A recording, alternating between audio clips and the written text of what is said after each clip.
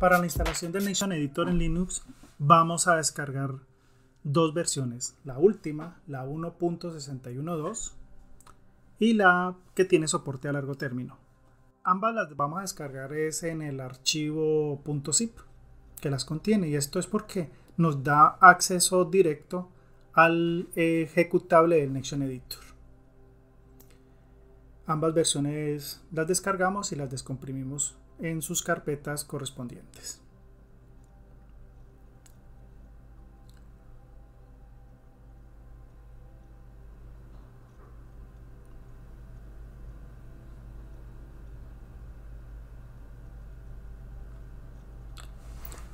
Algo que va a ocurrir en la instalación es que para sistemas basados en Ubuntu Debian nos va a arrojar un error en el ptrace scope. Entonces vamos a hacer una modificación temporal de este archivo en un parámetro.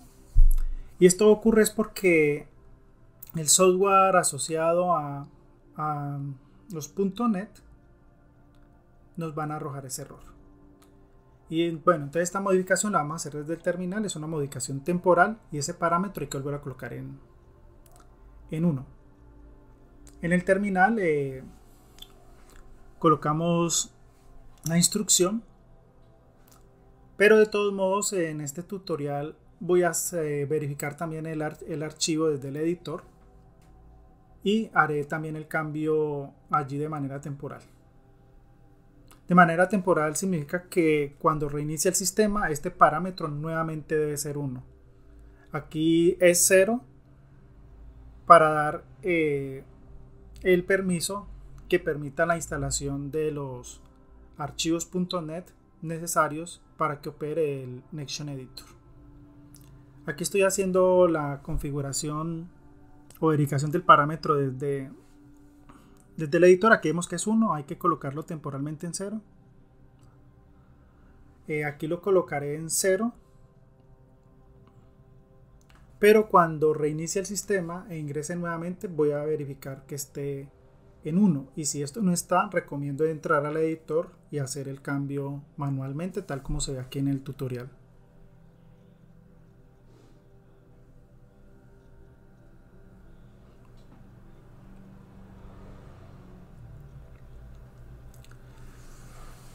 Bueno, ya teniendo estos, estos cambios, vamos al Play on Linux.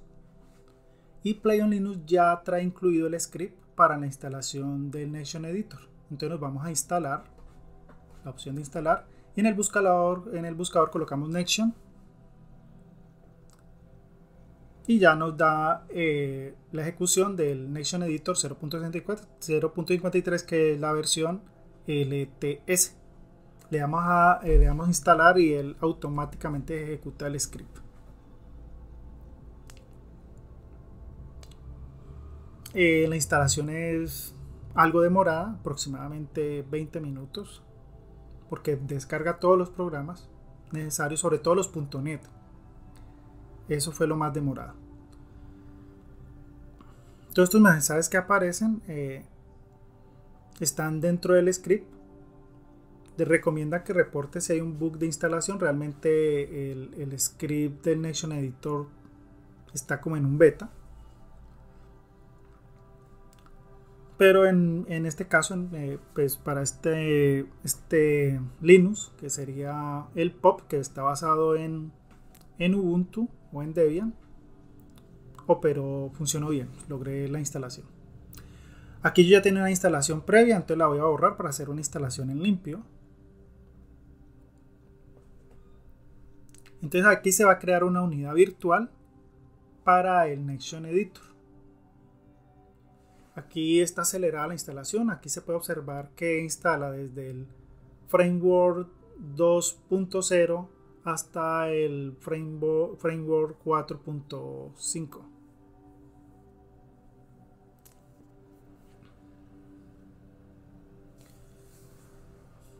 Durante la instalación encontré que que como eh, la descarga se hizo en unas carpetas comprimidas, a pesar de que yo le di la ruta en el proceso de instalación y lo logré ejecutar la primera vez, cuando fui a lanzarlo no encontraba la ruta. Entonces vamos a ver que lo que hay que hacer es ir a la unidad virtual del Nexion Editor, la unidad virtual que se crea, y allí pegar los archivos de las carpetas comprimidas que descargamos desde la página de, de Nexion. Aquí me preguntaba era por el, el, idioma del navegador. Él instala un navegador viejito, un Internet Explorer.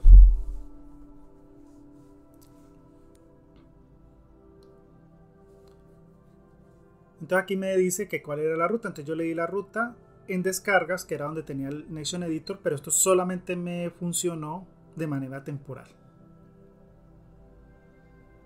Entonces aquí se puede observar que, que me lanza el, el, el Nexon Editor. Previamente yo le había indicado cuál era la ruta.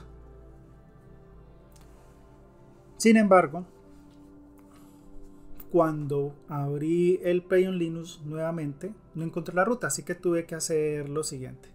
Aquí se pueden observar las dos carpetas ya descomprimidas donde están los archivos eh, del Nexon Editor, tanto de la última versión como de la versión LTS.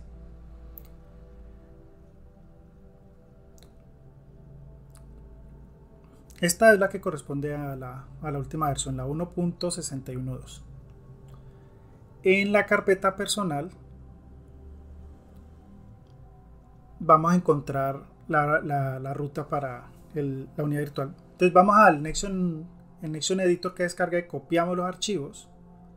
Nos vamos a la unidad virtual.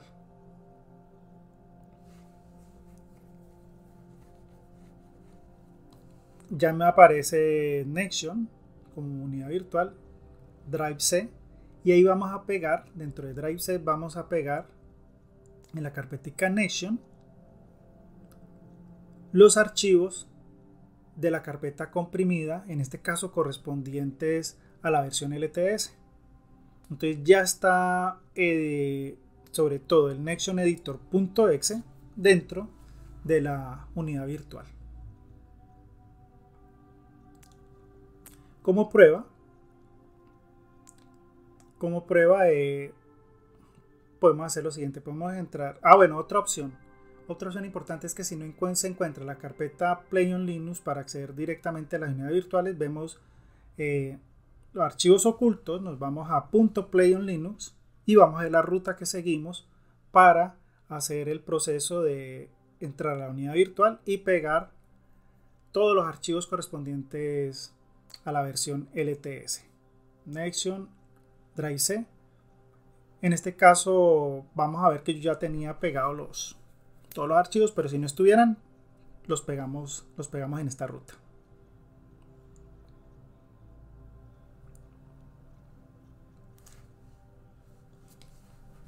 Aquí hice la prueba de, ejecución desde, desde, la propia carpeta de la unidad virtual de los Nexon Editor.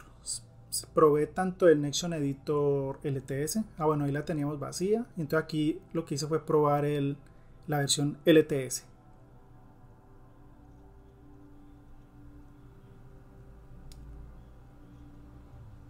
Y aquí se hizo clic sobre el nexioneditor.exe y como me lo carga desde la carpeta virtual, llama al Play on Linux y ejecuta el, el editor.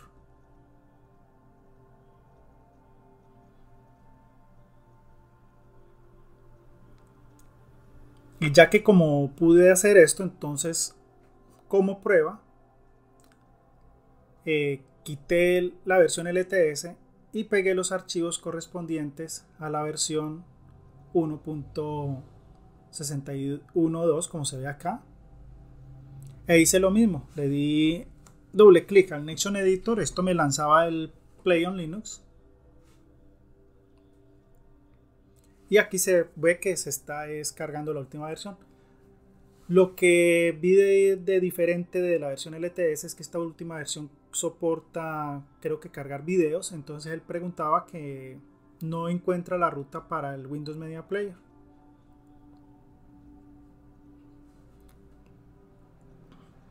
Pero por lo demás cargó bien el programa. Sin embargo, para la pantalla que estoy empleando, voy a emplear la versión LTS. Luego que me encontré que no estaba configurado el lanzador desde el Play on Linux, entonces me fui a configurar, seleccioné la carpeta, la, la unidad virtual, que es Nexion, y allí él me buscó los archivos ejecutables. Entonces yo escogí fue nexioneditor.exe para que me lo cargara o me creara un acceso directo como un lanzador.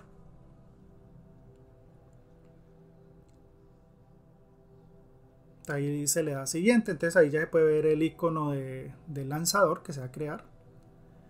Nuevamente él me decía que si quería crear otro, otro acceso directo, eh, pues en este caso le dije que no. Siguiente y ahí ya le di cerrar a esa pestaña ya tenía un lanzador desde el Play on Linux para ejecutar el Nexion Editor, entonces ya le podía dar ahí lanzar.